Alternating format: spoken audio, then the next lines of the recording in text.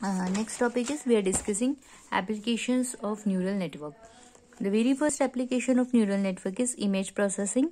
Image processing, there are various areas in image processing. For example, if you have any image of a person, then face recognition or face detection is one of the area where you have to detect person face from the image जैसे आपके camera में feature होता है कि multiple people है, या फिर single person की भी फ़ोटो है तो उसमें एक बॉक्स आता है या स्क्वायर आता है which detects the face of a person so that kind of thing can be done with the help of image processing with the help of artificial neural network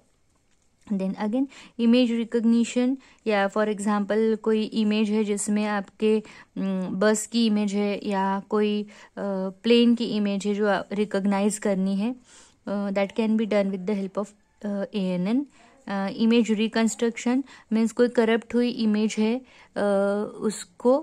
properly uh, reconstruct karna that is also one of the application of image processing which can be done with the help of artificial neural network and uh, noise removal means uh, image में जो भी noise होता है या unwanted data होता है that can be remove with the help of artificial neural network then this is about image processing then speech processing speech processing में जैसे one language to another language speech convert करो और we can say speech to text conversion या फिर text to speech conversion या recognition of speech ये कुछ application है स्पीच रिकग्निशन के that can be done with the help of artificial neural network then one more area health care या फिर medicine medicine में डिसीज डायग्नोसिस के लिए uh, artificial neural network use होता है। जैसे कि कोई लिगामेंट इंजरी है या फिर कोई एक्सरेज है या फिर कोई ट्यूमर्स है बॉडी में कहीं दैट ट्यूमर्स और that kind of things can be done with the help of image processing उसको पैटर्न मैचिंग बोलते हैं या पैटर्न रिकोगशन बोलते हैं। सो so, जो अलग अलग पैटर्न्स होते हैं अगर कोई डिफरेंट पैटर्न फाइंड आउट हुआ तो that can be a kind of disease और injury which is detected with the help of ANN. The next one is in defense, जैसे कि ऑटोमोमेटेड प्लेन्स जो होते हैं या फिर रोबोट्स होते हैं या फिर टारगेट रिकग्निशन होता है। टारगेट रिकग्निशन मीन्स कहाँ पे अटैक करना है, वो लोकेशन आपको फाइंड आउट करनी है through computers in that case N N can be use the next area is natural language processing so natural language processing में ऑलरेडी मैंने एक वीडियो बनाया है जो आपका फ़र्स्ट यूनिट का लास्ट टॉपिक था। नेचुरल लैंग्वेज प्रोसेसिंग में क्या होता है कि script conversion from one language to another जैसे मैंने इंग्लिश में कुछ टाइप किया है या कुछ बोला है तो मशीन उसको मुझे दूसरे लैंग्वेज में कन्वर्ट करके देगी। जो भी टारगेट लैंग्वेज होगी, वो लैंग्वेज में मुझे इन्फॉर्मेशन कन्वर्ट करके मिलेगी। That can be a natural language processing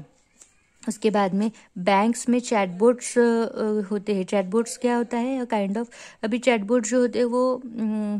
वहाँ पे pre built in built programs हो गए क्वेश्चंस आप जो भी डालोगे उसके इन बिल्ट आंसर्स रहेंगे और वो आंसर आपको दिया जाएगा as a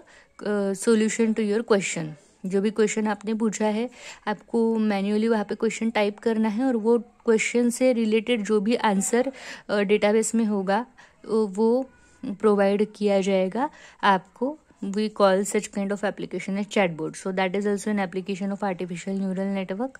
then automobile industry में जैसे सेल्फ ड्राइविंग कार मैंने बताया डिफेंस में भी सेल्फ ड्राइविंग प्लेन्स होते हैं, वैसे भी self driving cars can be an example of A N N और we can see an example of artificial intelligence you know A N N is also branch of artificial intelligence then sales या marketing में आपको product के price predict करने के लिए ये use होगा आर्टिफिशियल न्यूरल नेटवर्क सेल कैसा चल रहा है? सेल इंक्रीज होगा या डिक्रीज होगा? दैट कैन बी आइडेंटिफाइड और analyse with the help of artificial neural network remaining topics we will discuss in the next video. Thank you.